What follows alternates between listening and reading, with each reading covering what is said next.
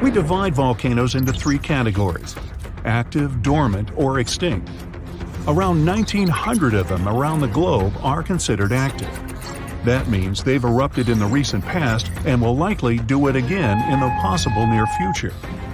Dormant volcanoes haven't popped off for a long time, but they still may in the future. You could say they're sort of sleeping. As for extinct ones, those guys haven't done anything in more than a million years. The eruption in Iceland wasn't super explosive, and this all happened six miles from the nearest town, so everyone was perfectly safe.